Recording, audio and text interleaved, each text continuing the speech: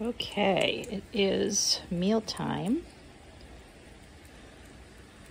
And one, two, five, six, seven, everybody's eating for once.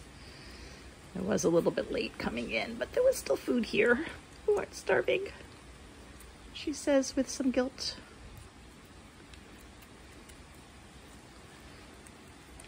So every day I put two or three cans of food out on this big dinner plate they're getting better at not standing in it. And then I usually put one aside for Mama. She usually has some competition. Then there's always dry food out. So let's see who we have here. All black one is Bella Lugosi. Black and white spots is Sidney Poitier. Um, Tabby is either Jimmy Stewart or Humphrey Bogart, who are you?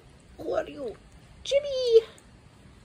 Go back to eating, I'm sorry. So that's Humphrey Bogart there with Miss Katharine Hepburn, gray with the white neck.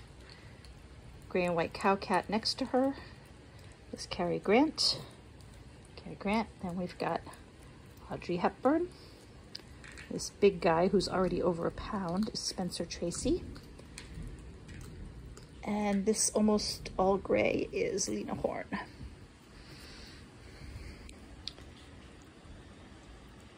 So these are the Hollywood stars, black and white stars. Oop, there's Nina. You need some stuff in your eyes.